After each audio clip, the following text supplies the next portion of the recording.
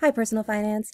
So if you're looking at this, at this on Monday, um, what you're going to be doing today is going to Foundations Digital and watching this video.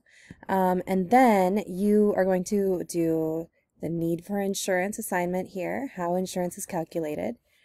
Um, and then the rest of this week and next week, um, we're finishing up the insurance unit. You're going to do an insurance project where you are going to be researching a form of insurance and doing a, a slideshow presentation about it.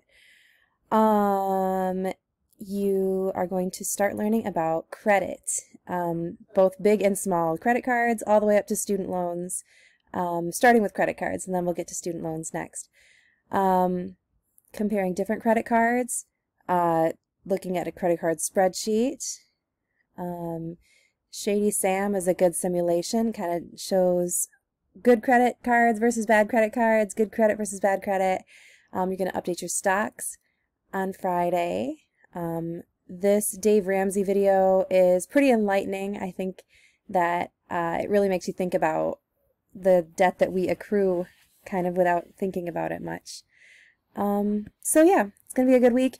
Make sure you get this insurance project done before Thanksgiving break.